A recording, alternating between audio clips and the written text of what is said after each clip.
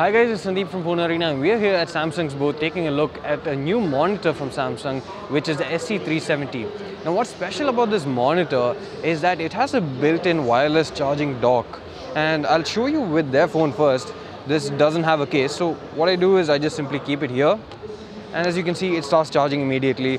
Uh, it's 97% now and you can see the charging indicator here. There's an indicator on the display as well which lights up in red once it's charging.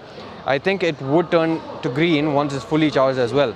So this also works with cases. Right now I have a case, this is my own device and I have a case on it and it still works with wireless charging when I put it on. So as you can see the screen just lit up and there's a red light here. It's still charging. So it's able to do that with or without a case. And this is quite good especially for people who just reach their workstations. I, I for example, I just go to my office, put my phone there and the issue is I have to hook it up to a USB cable in order to charge it. So if this was there, I could use it with my monitor, just put it in front of my monitor so my phone is right there when I need it and is charging all the time as well. And then there's no need for any wires.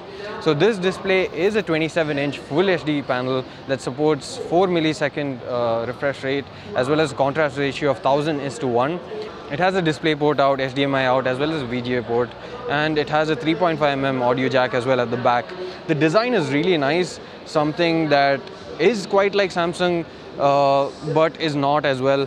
Uh, they have the similar design in terms of the the basic shape as well as the orientation of the uh, of the display itself but then the materials used are quite different. Normally you have a samsung display that is black along with some silver borders that go around it but in this case it's it's an all white design along with a translucent piece of glass. In this in this case is a blue glass that goes all the way around it and it looks quite stylish and quite contemporary as the video here shows. So that was a quick look at the SE370 display from Samsung here at Samsung's booth in IFA 2015. It supports wireless charging uh, for any device that is Qi enabled. So if you like this video, do hit the like button and subscribe to our channel for more videos like this. Thanks for watching.